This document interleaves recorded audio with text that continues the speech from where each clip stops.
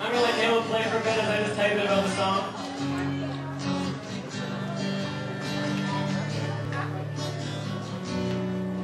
Okay, so you gotta bear with me here because I'm being very honest.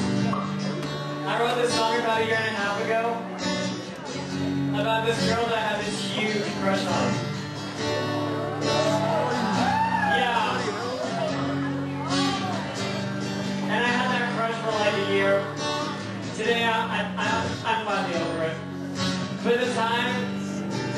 I just felt like I could never tell her that I liked her because I didn't feel like I was good enough for her.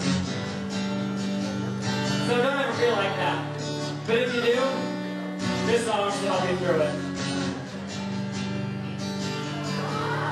Oh my, to think that I deserve to be a part of your life. Oh my, to fall for someone like you with that perfect smile. Ooh,